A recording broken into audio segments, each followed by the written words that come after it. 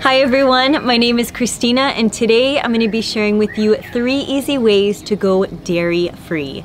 Not only will I be sharing with you three things you can do to easily remove or eliminate dairy from your diet, but also I'll show you how to make your own plant-based milks, creamy cheeses, ice creams, and even thicker savory sauces as replacement ideas.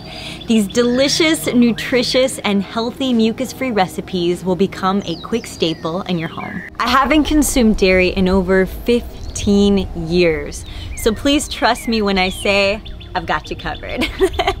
Giving up dairy doesn't have to be dreadful. I've actually discovered replacements and recipes that taste even better than what I was consuming before, and I feel much better physically too. I hope my tips and recipes I'll be sharing with you in this video will be helpful to you. To make eliminating dairy from your diet a seamless and enjoyable transition, you need to find good alternatives, replacements, or recipes for milk and ice cream, cheeses, and sauces and dressings.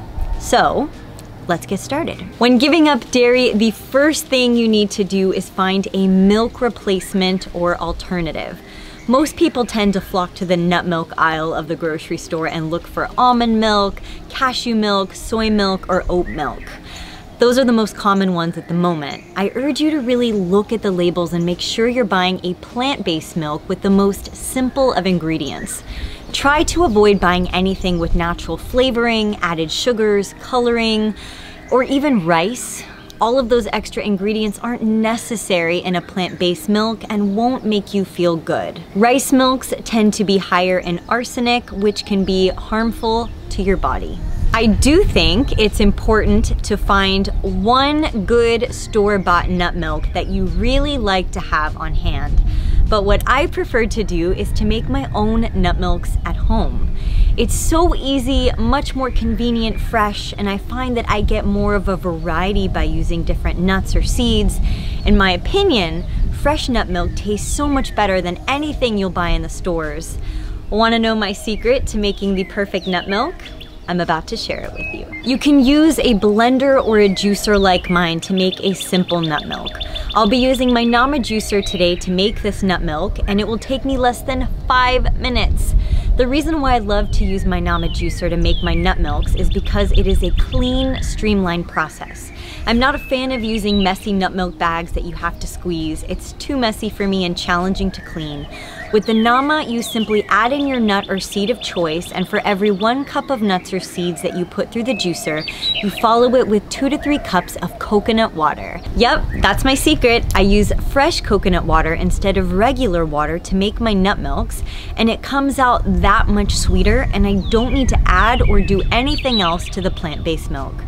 You can see that I used fresh macadamia nuts and cashews in this recipe, and it looks like it does a body good. If you don't have a Nama juicer, you can blend your nuts or seeds with a blender and then pour the mixture over a strainer or sieve to get your nut milk. I also love using a Nama to make nut milks because I get a really dry nut pulp after juicing up the milk, and I use this pulp to make my own vegan cheeses.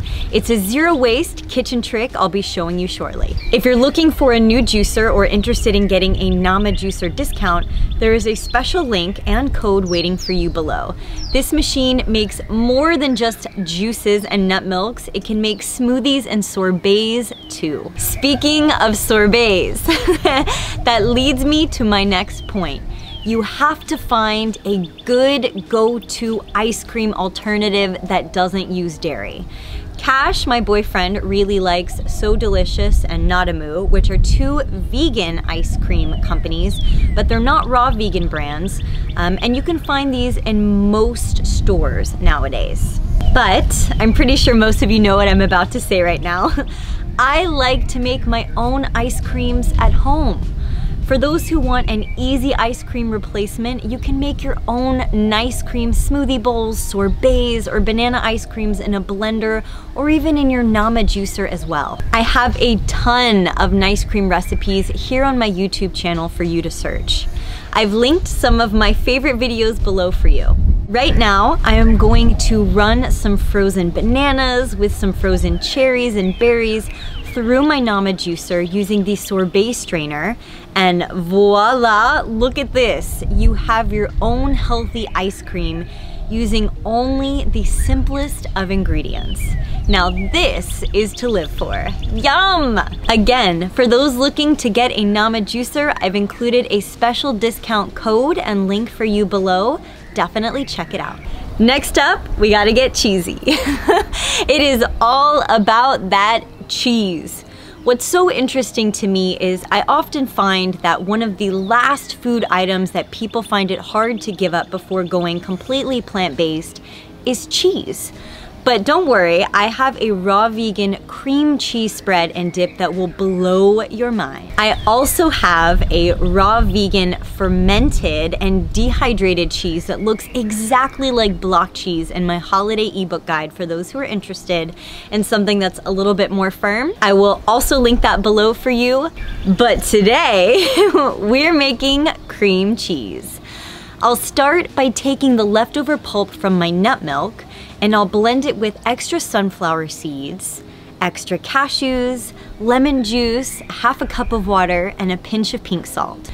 Once it's fully blended and creamy, I'll put this into a mixing bowl and then fold in finely diced or chopped herbs, red onion, green onion, jalapeno, and a little bit of black or chili pepper. I'll garnish it with a little bit of extra herbs on top and sprinkle on some paprika or cumin.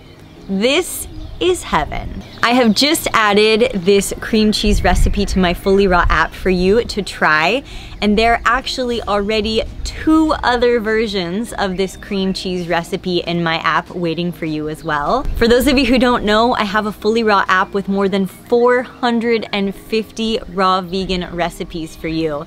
And the links to download my app on iTunes and Google Play are listed below for you in the description.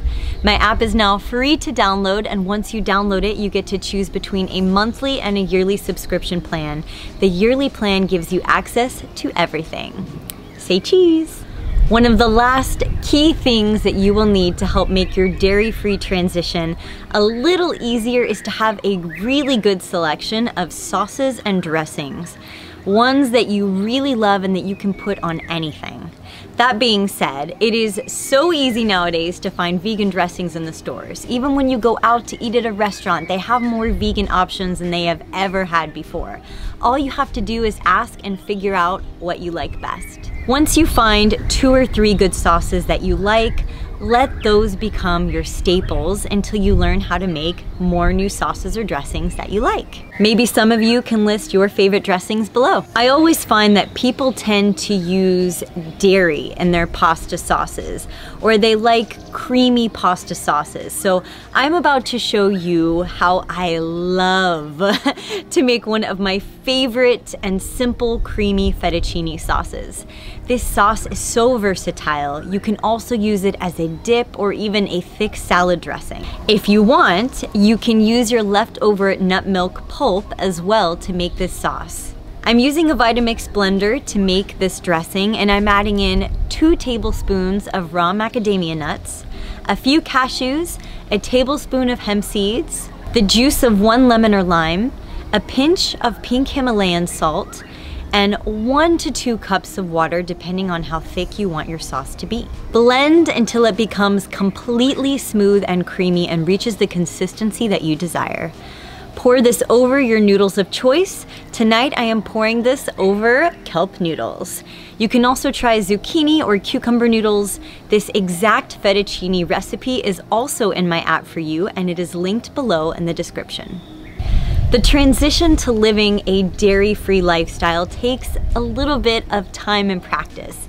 It takes some effort at first to read the labels, learn new recipes, and even make special requests when you go out to eat, but it's worth it not only will your body thank you, will your body thank you, but also the animals who are exploited and harmed by the dairy industry will thank you too. So today I have shown you how to make your own nut milks and ice creams. I've given you a fun cream cheese recipe and I've also shared with you a yummy fettuccine sauce that you can pretty much use on everything if you want.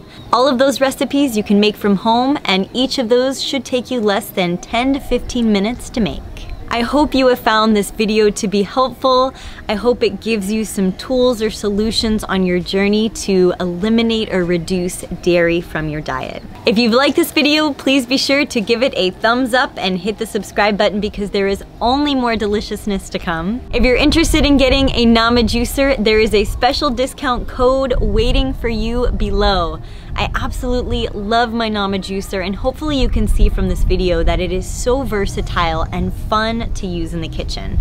It makes more than just juices, it makes nut milks, smoothies, and yummy sorbets. Thank you all again so much for joining me today. I have loved spending this time with you. I look forward to seeing you all in my next video and I'm sending you all my hugs and my love.